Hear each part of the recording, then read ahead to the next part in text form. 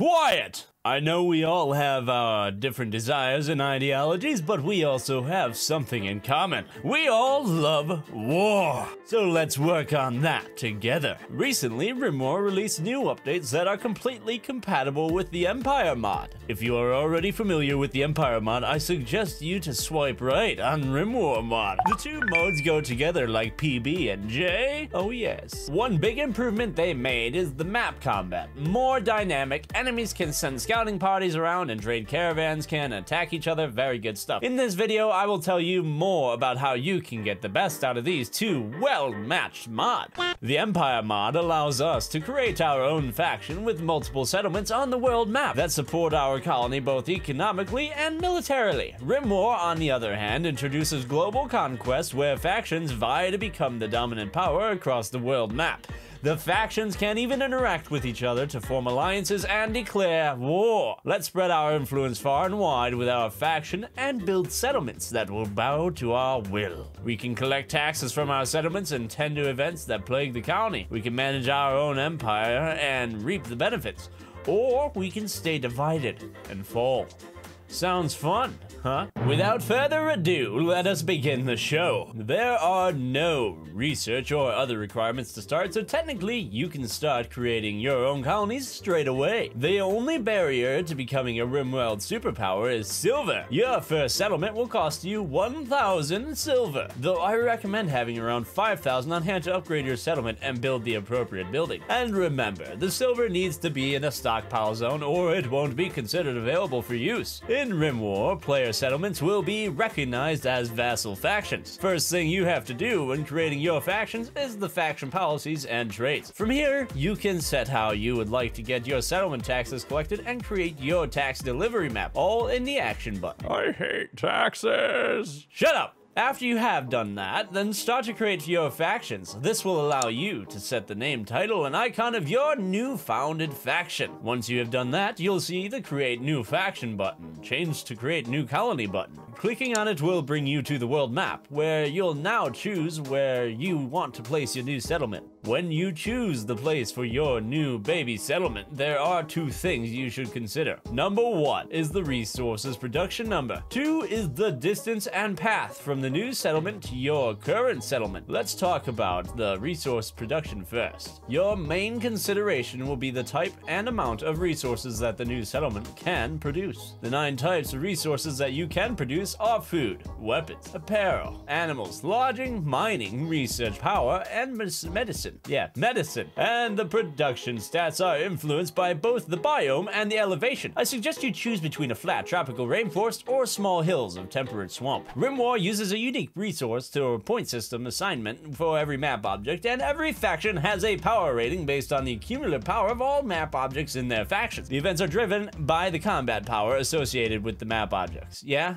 Alright? You understand? Good. Rim War also added some new global map objects such as warband, scouts, trade caravans, and settlers. Now, before we move on to the second consideration, I'd like to remind you all to subscribe if you haven't already. Making these videos takes a lot of work, it makes us happy to know that you want to see more. So go and show us this is a good video and hit that subscribe button. Also hit the like button and comment down below. Do all the interaction-y thingies that makes the YouTube algorithm happy that brings more people here. Yeah, that's what we're looking for. Good work. Good on you, mate.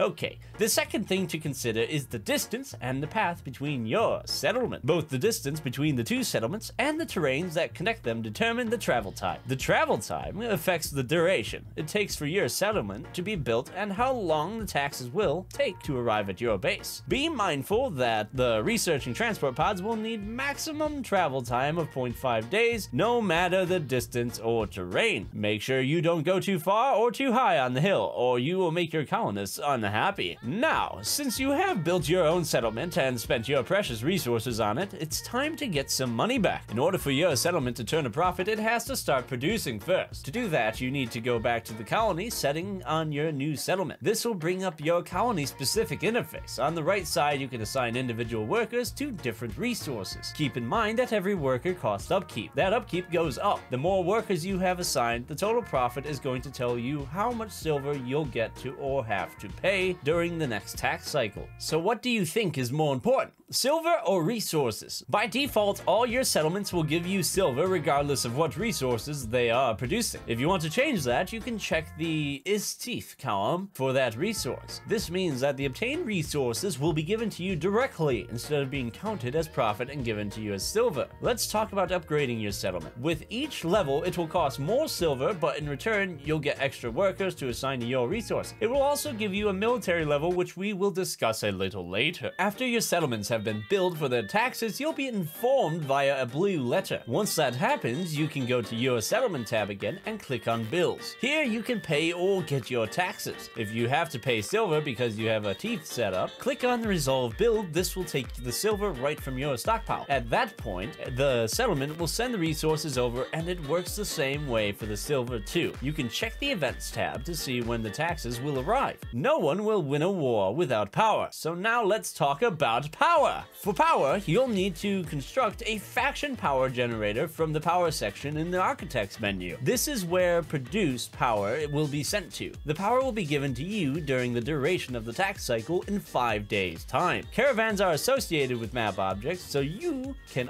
always notice raids or caravans coming and even raids or caravans between AI factions. It is a dynamic diplomacy and occurs as result of actions performed by objects, we discussed this earlier, on the map. Now, this is where your diplomacy abilities comes handy in the game. You need to set up policies and traits in addition to the individual improvements you make your settlements by upgrading the settlement or construction buildings, but you can also set up policies and traits that affect your faction as a whole. It is free to set these up and they give some nice bonuses, so there's no reason not to do it. In order to set these up, you have to head to your faction tab and click on the policies traits tab. From there, choose your policies and apply them keep in mind that it takes 5 days till they go into effect. You can check the remaining time in the events tab. How about setting up a military troop? The good news is each settlement has a military score. This score can be increased by upgrading the town, constructing certain buildings, or adopting certain policies. The score has three distinct effects or uses. Number one is defending your town.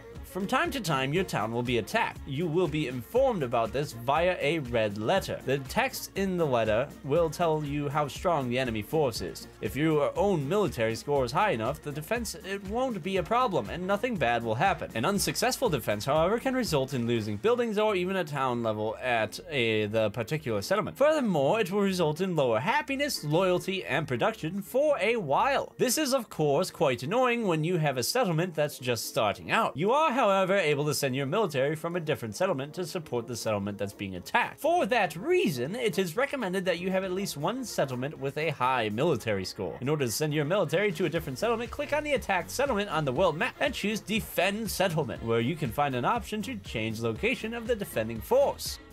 Number two is attacking settlements. Just like other factions can attack your settlements, you can attack theirs. If the attack is successful, you'll get some items as loot. Number three is supporting your troops. You are able to create custom squads, which you can call in via drop pods to support you in a dire situation. To start creating your armies, click on the military tab under the faction tab. This will open up a new window with three tabs at the top you have to go from the right to the left here. Start by clicking on Create Units tab. Once there, click on the Select a Unit button. This will allow you to create a new soldier. From there, you can start customizing your new soldier. To equip your soldier, simply click on the label Equipment Slots. The game will show you a list with possible items you can have in that slot. Keep in mind that the availability of certain weapons or armor is dependent on research or tech level, for example. To give a soldier marine armor, you need to have researched it yourself. Before going to war, you better write a note or a letter to your loved ones. Ask for blessing or good luck. So let's have a break so you can start thinking of any comments or requests or questions in the comments section. Or if you are afraid, you can flag your white flag and surrender now. So please, give any comments. To create different soldiers, just click on the select a unit button again, which now shows the name of the unit you're making. You can edit your soldiers at any time. Once you have created all the soldiers you want, it's time to put them in formation. For that, go to the create squads tab. Again, click on select a squad to create a new one. Nice squad! From there, you'll see a 5x6 grid in which you can place your soldiers. In order for your armies to be supported by a village, they need to fit within the equipment cost. The equipment cost is determined by the military score of the village you want to assign your squad to. You can also set a village as a reference point for the equipment cost. For that, simply click on the Set Point Reference button. Now that you have your armies, you have to assign them to a settlement. For that, go to the Designate Squads tab. Find the settlement that you want to assign your squad to and click on Set Squad. From there, you'll get a list of all available squads. Click on the one you want for that settlement. If the equipment cost is too high for the military score of the town, you won't be able to assign them. You can assign a squad to multiple settlements. When you want to use your armies, simply click on the Deploy Squad button. Once you have done that, you can choose the landing spot for your soldiers. During combat, you can use the controls that pop up on the right of your screen to give your soldiers basic commands. Keep in mind that once you use a squad, it will go on cooldown before it can be used again. Which kind of sucks if you really, really need them. Just speaking from experience here.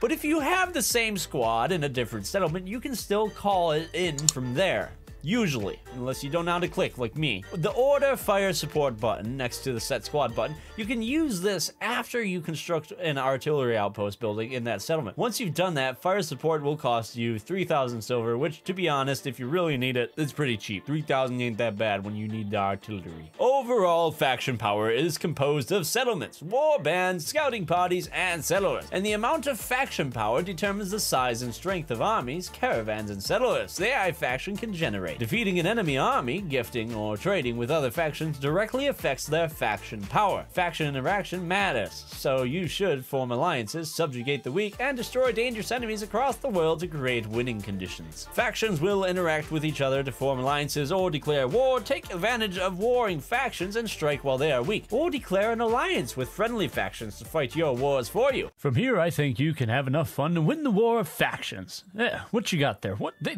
they updated right as we were about to finish this video. Well, I mean, I suppose I can't complain about a good mod that actually updates. So in order to actually have this video come out at a good time and also save on effort to redo everything, let's quickly go through some of the changes that they just recently updated. now, we have the ability to send a caravan of colonists to help in defending settlements under attack. They also added proper base generation for settlements similar to that of a normal bases within the game. So defending or attacking them feels similar to the base game. Finally, they allow you to actually draft assigned defense squads within the base like colonists so finally you can coordinate defenses. Finally, no more brain dead pawns walking into obvious death traps. I mean, they are still brain dead, but they, hey, controllable brain dead pawns are better than just uncontrollable brain dead pawns. Alright then, outside of some bug fixes, I think that's all of the new stuff. Good to know we caught on to that right before we finish this video. Enough all for now, I need some love. I hope this video will make you win and conquer the world of factions and you can sleep well all night. Not hesitate to drop some peaceful comments or questions. Hit the subscribe button down below. Be sure to click on another video. Thank you very much. Till next time.